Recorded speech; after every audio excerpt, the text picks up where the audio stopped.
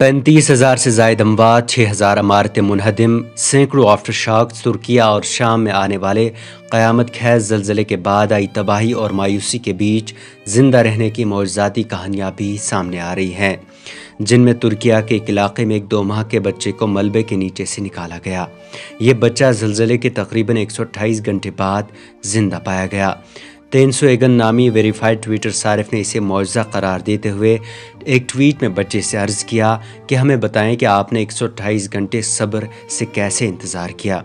इस वीडियो को 30 लाख के करीब लोग देख चुके हैं, जिसमें बच्चा गमगीन और खौफजदा नज़र आ रहा है।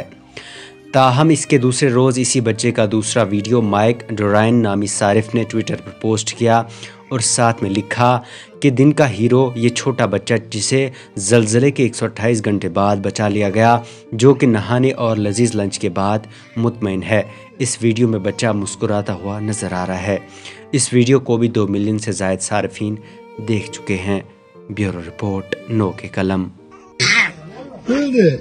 Ya sen ne bile tatlısın. Ya sen ne bile tatlısın. He? Geleceksin yanıma. Geleceksin yanıma. Mm.